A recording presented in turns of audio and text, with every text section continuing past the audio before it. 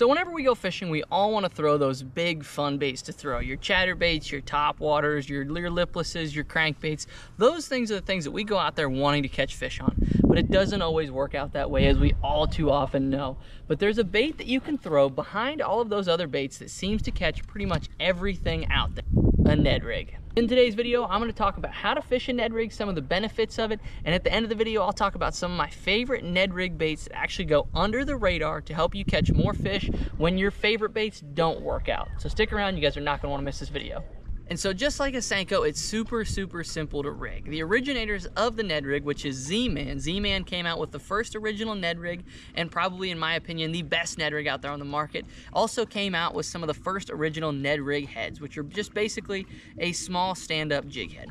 And so the way you rig it is you literally take one of the Z-Man Neds, insert it into the bait, get it about where it's gonna be lined up to where that bait is straight, and bam, there you go. There's your Ned rig. It's super simple. And here I have the medium sized Ned rig. They also have micro Ned rigs, regular Ned rigs. This is the medium Ned rig. And then they have giant TRDs, which is what they're originally called as TRD because they worked so well with the original small size that they had to come out with all of the different sizes, which is why I'm showing you this model today because I want you to be exposed to all of the different sizes to come across all of the different situations you might be putting yourself in. If you're fishing for bluegill, you can break out the micro Ned rig. If you're fishing for really small bass, break out the micro or the original. But if you're on a lake where you're getting into some bigger largemouth, some bigger smallmouth, the medium TRD might be your style. And one thing that I also want to talk about is there's no wrong situation to throw it. Today, I'm skipping it around docks, and then I'm going to go throw it in some holes in the grass and on some sandy spots and some shell beds. But you can literally throw it in any given situation. You can drag it on points. You can fish it deep. I catch smallmouth in 50, 60 feet of water with it. I also catch smallmouth in two feet of water with it. So one critical component to a Ned rig that most people often overlook and what kind of equates to them losing fish is going to be the Ned rig hook that they throw their, their Ned rig on. For your Ned rig, I have three hooks that I like to throw these little babies on, and I'm gonna break those down right now. The first of which being the go-to, this is the NedlockZ. So what this is, is this is basically the Ned rig hook, but what they did is they beefed up the wire of it, and they also added a little lead keeper in the middle of it. So why I like this hook is because it's a little bit beefier, so it doesn't bend out as easy. And then it also has that little lead keeper, which when you put super glue on it, locks that baby in place so that Ned rig does not go anywhere. So that's why that's my go-to. I'm gonna be throwing a Ned rig around. The next Ned rig hook that I really like is going to be that football Ned. This is one I throw if I wanna get it a little bit deeper. They make this up to a quarter ounce. So it allows me to get that Ned rig down deeper and fished in a lot of different situations. And it just helps crawl over top of that rock with that football head being on there. And it's a little bit stiffer hook. It's not super, super flimsy like the original Ned rig. Uh, so this one holds up a little bit better, which is why I like it because a lot of times I'm throwing these for big smallmouth and sometimes you catch big drum and whatnot and you're horsing them up to the boat. So that one does not bend out. Now the last hook that I want to talk about is one that nobody ever seems to throw, but it is one of my absolute favorite Ned rig hooks ever created because it's going to help you catch more fish, lose less Ned rigs, and that is the NedlockZ EWG Ned rig hook. This is one that nobody throws. And when I tell you I will lose one Ned rig to your 15, I'm not joking. This is a Ned rig hook that I love when I'm fishing around current and when I'm fishing around grass or rock that really likes to catch on your Ned rigs. Because it EWGs it, what it does is it just keeps it perfectly weedless. And so that makes it easy to throw around all different situations, especially you guys fishing in current. If you're a river fisherman, this is the Ned rig hook you need to be throwing. Specifically because there's so much brush and all the kind of sticks and whatnot on the bottom and the big boulders that your Ned rig tends to get hung up on. That won't happen with this hook. I promise you, this one goes so much better through all kinds of cover. So the beautiful thing about a Ned rig is there's really no wrong way to fish it either. Some of my favorite ways to fish it are I'm gonna show you right now. First, you're gonna cast it out, Right here we have a little shell bar with some grass mixed in and so we're kind of just fishing for some smallmouth and some largemouth mixed in. I have this on a Z-Man. This is a NedlockZ head. It's a little bit heavier head so I can get down in that, you know, I'm probably in 10 feet of water right here.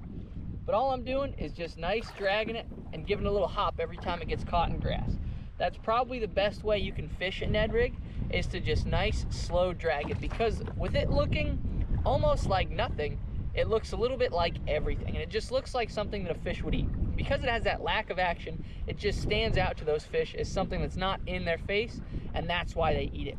So that slow drag really does a great job at replicating a lot of what lives on the bottom of pretty much every lake in the world because it looks like something small and something that a fish would want to eat. Another way you can fish it is to do a lot of vicious hops with it to get those fish's attention. But what I like to do after those vicious hops is I will sit there and I will just really shake it on the spot. So I'll hop it and then let it fall back down and just kind of shake it right there. Because what it does, it catches those fish's attention as you hop it up.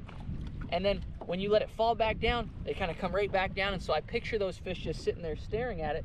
And that's when I do that nice little shake where I'm just sitting there shaking that rod tip, having that Ned rig just down there quivering. That's one of my absolute favorite ways to fish it. Another great way to fish a Ned rig that nobody does except for my one buddy is he actually swims a Ned rig. Because he likes to use it for both fishing it for suspended fish and for fishing for fish on the bottom. He will cast it out using his forward facing sonar, but you don't have to. Let it get to the bottom and then he will just slow reel it over the bottom because again, it does the same thing a swim bait does, but without the tail right? It looks like absolutely nothing, but it looks like something small and defenseless swimming through the water. And so those fish really feel the need to eat it. It's a great way to cover water in the fall and in the spring like we have here to really see where those fish are at. Because a lot of times you'll get those active fish to come up and eat it or at least bump it. And then you know that those fish are there and those fish can be caught right there in that spot. So then you can mark a waypoint, drop your anchor, whatever you're doing, and really try to catch those fish after you figure out where they're at. So after Z-Man came out with the original Ned Rig or the TRD, every other company across the market, across the industry wanted to come out with their own. And there's nothing wrong with that. But what I want to talk about now is my three favorite Ned Rigs that are actually out there. And what they are is they're not just Ned Rigs, they're Ned Rig style baits because every company's Ned Rigs pretty much work the same. You know, other than the fact that Z-Man's holds up infinitely better than every other company's, they all do the same thing. They have the same action for the most part. The only difference is the Z-Man Ned Rig tends to stand up a little bit better and not fall over as easily. And so what I'm going to show you is my three favorite Ned Rig style baits that kind of encompass all about a Ned rig. And the first is obviously the original TRD by Z-Man. I've talked about that one enough throughout this video. The ElaZtech on it is phenomenal. But what I will do for you is I'll break down my three favorite colors of it. The first of which is going to be that original green pumpkin right? It's hard to beat a green pumpkin TRD. But a close second that I throw almost as much as a green pumpkin is Goby Bryant. And what this is, is this is basically the deal. My favorite color used to be the deal, but I found that the factory laminate comes better on Goby Bryant. It comes better with that dark top and light bottom, and it looks very similar to the deal, but what it does is it replicates every bait fish or everything that lives on the bottom. Everything has a dark back and a light belly, and so that is my clear water go-to. Now, if you are living in smallmouth country or you're living in dingier water, a very overlooked Ned Rig color is one you saw on the thumbnail of this video. That is going to be copper truce. It has that chartreuse on the bottom with a green pumpkin copper flake on it. And that baby, when I tell you gets bit by smallmouth from everywhere in the world, I am not kidding you. That sucker catches fish. But I love it early in the morning and late in the evening, or if you have some wind or turbulent water, this puppy stands out and just catches absolute giants. Now I'm going to show you my other two favorite Ned Rig style baits. Next bait that I want to talk about in the Ned Rig lineup is going to be that Ned Rig Craw. Now, that's another one by Z-Man, and what it is, it basically just has little pinchers on there that float and so it just looks like a small crawfish. And so I love that for clear water, especially smallmouth. But what I really love it for more than anything else is a jig trailer. This fits great on the back of compact jigs and gives it that lifelike craw style position where it stands up with it and just does a great job at filling out a small compact jig and giving you that profile that fits with those smaller jigs to give you that natural crawfish presentation. Now the third bait that I want to talk about is one that is actually a saltwater bait but it's a phenomenal little Ned rig bait. And what it is, it's actually the CrusteaZ. It's meant to be like a little sand flea or a little crab, but it has two small pinchers on there that almost are like double tail grubs. And it's just a nice flat body that has a great profile in the water. It slides when it falls, and those little claws are back there just kind of really being finessey. And the reason that I like it is because it's so small and so compact, but yet it has a little bit of movement from the little buggy legs on there and these little pinchers that just gets bit when those fish are being really, really finicky. So the reason that people loved it and it took the industry by storm was because it caught so many fish in every kind of setting possible.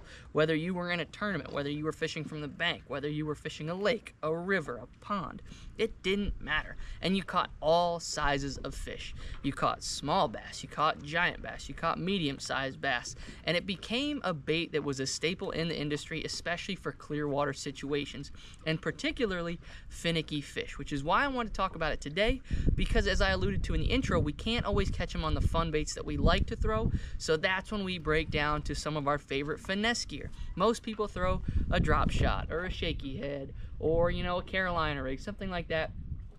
But a large part of the industry, myself included, when it gets tough, when I'm on a cool bite, I like to pick up a Ned rig because I know I'm gonna catch fish. And as a tournament angler, there's nothing scarier than not catching a limit. That's what people stress about the most. And so a Ned rig is just a limit getter. It's one of those baits that you can break out no matter what time of year it is and catch your five and catch a ton of fish in between to make sure you're gonna have a fun day on the water. So the one thing that I see people doing wrong with a Ned rig, and this is common across all finesse fishing applications, is they try to over muscle it, right? It's a spinning rod application for the most Okay, it's basically a light version of a shaky head. It is a small presentation. And what people try to do is they try to use fast action rods with it.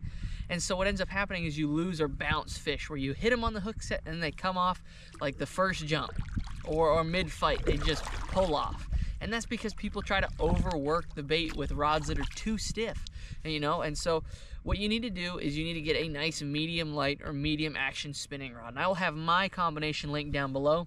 My combination is a 7-1 medium fast action spinning rod. And I know you say well you just said don't use the fast action. Well this says extra fast but it's not. It has a very soft tip on it which is why I like it for this application. The 7-1 allows me to cast it further with it being a lighter bait but I don't want too much in there because I feel like if I go to too long of a rod, then it makes it too soft. Because if you have too soft of a rod, you'll know you'll lose them on the first jump.